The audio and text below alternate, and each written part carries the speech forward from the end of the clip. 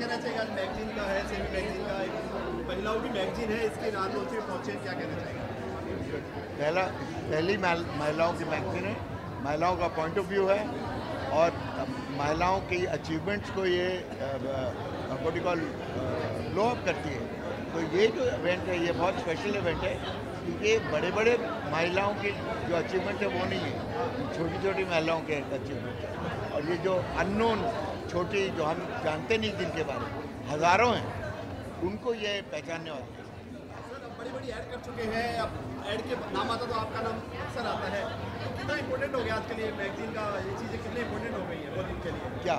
बॉलीवुड के लिए एक्सपोजर के लिए कितनी जैसे एक आर्टिस्ट है उसको मैगजीन के फ्रंट पेज पे नाम आता है तो बड़ा एक्सपोजर मिलता है उसके लिए क्या कहना चाहिए? बहुत बहुत इम्पोर्टेंट है क्योंकि वो एक प्राइज़ जैसा है। जैसे नेशनल अवार्ड होता है ना तो हर चौदह दिन आप मैगजीन के कवर पे आए। It's like getting a national award it's like you know recognition जो होता है वो वो मिलता है आपको। क्या कहना चाहिए? इवेंट में? ये इवेंट बहुत बड़ा है क्योंकि बड़ी बड़ी महिलाओं के लिए इवेंट नहीं है।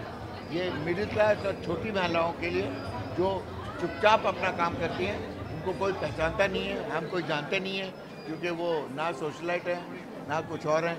पर वो काम बहुत बढ़िया कर रहे हैं। उनका उन, उनके लिए ये अवार्ड है। ये बहुत इम्पोर्टेंट है।